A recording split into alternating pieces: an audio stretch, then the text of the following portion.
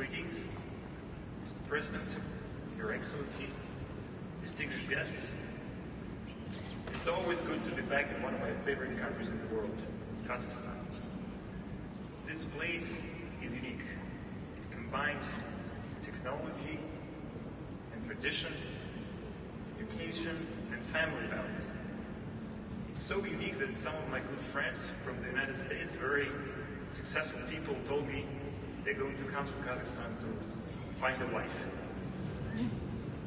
Well, regrettably, I haven't come here today to find myself a wife.